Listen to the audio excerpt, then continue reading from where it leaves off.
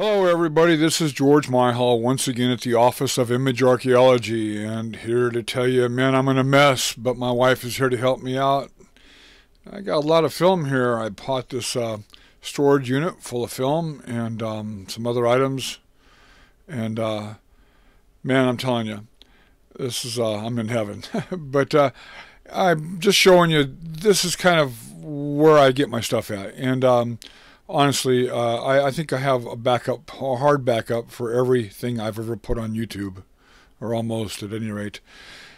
Sometimes bad things happen to film, and um, so I try to rescue them.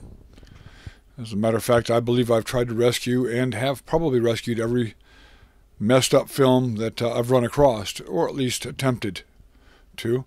Um, in this case right here, I'm going to use this trusty old NBC News uh, newsroom splicer to uh, put it back together again. it's going to take about oh, six, six and a half hours.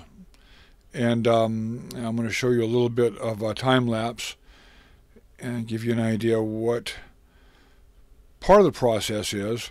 Uh, but what I'll do is, is I'll um, splice it back together again. I'll digitize it.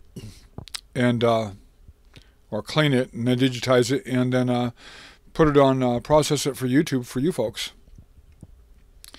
I did have a chance to look a little bit of the lead on it, and uh, it has both color and black and white film on it, and comes from someplace I believe in the Middle East. I'm not familiar with the area, but I'm sure somebody out there is. And so when you guys figure it out, I guess uh, I will too. Meanwhile, here's the whole film.